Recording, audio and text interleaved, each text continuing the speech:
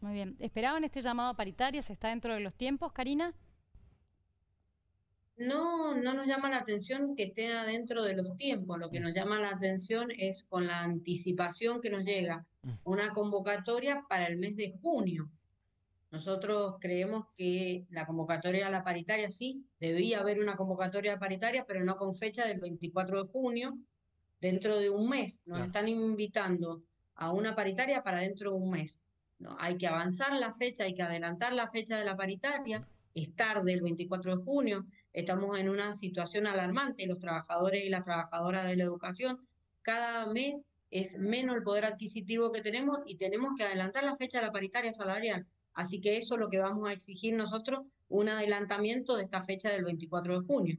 Le pregunto, a ver, no vamos a hablar del vecino, pero sí a partir de lo que está pasando, cómo vive la situación de los gremios judiciales, que el, de- el aumento sale por decreto menor a lo que habían recibido todos los gremios del 11 al 10. ¿Qué opinión tiene de esto en particular?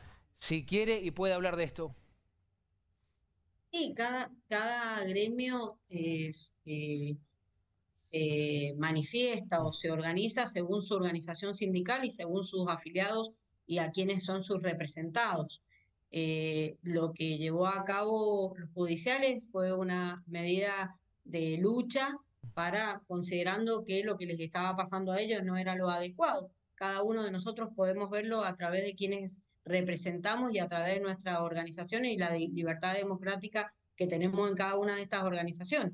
Unos tenemos maneras asamblearias, otros tenemos plenarios. Bueno, ellos han ido decidiendo en esa democracia cómo seguir avanzando en el conflicto y nosotros como sindicato, como SUTE, también avanzamos según la- la- los espacios que tenemos democráticos, que son las asambleas en las escuelas, los, plenarios departamentales y el plenario provincial. Así que cada uno avanza con, con su representado de la forma que puede construir con su representado. ¿Es tarde el 24 de junio recién para volver a sentarse a negociar teniendo en cuenta em, la, la situación de crisis y pensando en que si se sientan a fin de mes ya seguramente lo que se pueda acordar vendrá recién para el mes siguiente o no? Esa es una de nuestras preocupaciones. Vemos tarde la convocatoria, la fe, no la convocatoria, la fecha que eh, ponen en la convocatoria. Nos están invitando a paritar dentro de un mes, Mm. con una realidad angustiante en este momento. Si Nosotros hablamos- tenemos una paritaria, un aumento salarial hasta el mes de junio. Mm. Bueno, ¿qué vamos a hacer con julio?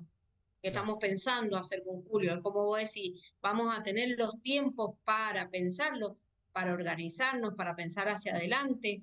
Eh, urge los tiempos también en, en las escuelas. Nosotros vamos a tener el receso escolar el 8 de julio.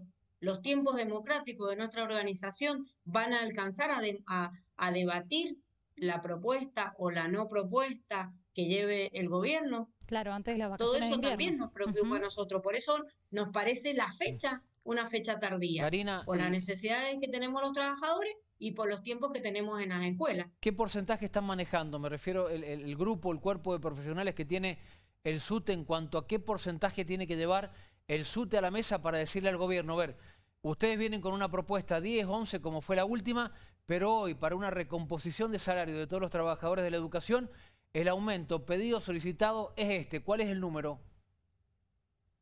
Nosotros no tenemos todavía debatido con las escuelas cuál es el porcentaje. Mm. Eh, lo que sí tenemos claridad que estamos cada día perdiendo poder adquisitivo. Vamos a ir a construir ese porcentaje, vamos a ir a construir las escuelas, cuál es la- lo que necesitamos como trabajadores y trabajadoras y teniendo en cuenta las necesidades de cada una de las escuelas. Pero usted, a ver, ya venimos con requerimientos, Mm. ahí te, te quiero sumar. Sí. Ya venimos con requerimientos que vamos a hacer por los que se están por jubilar, qué vamos a hacer con las escuelas de zona, qué vamos a hacer con las escuelas de frontera que tienen algunos ítems. Ya tenemos requerimientos, algunos requerimientos que ya los venimos eh, presentando en cada mesa paritaria. ¿Qué vamos a hacer con el sector de los celadores? ¿Qué vamos a hacer con la jerarquía directiva? Algunos de esos reperi- requerimientos fueron atendidos en la paritaria anterior. Bueno, En 10 vamos a ir a construir nuevamente estos requerimientos y vamos a ver lo que necesitamos los trabajadores y las trabajadoras de la educación. usted como ama de casa, que todo aumenta, aumenta la nafta la próxima semana, aumentó tal servicio, en fin, ¿qué cree? ¿Un 10, un 20, un 30? ¿Cuánto es eh, me refiero, la separo del SUTE.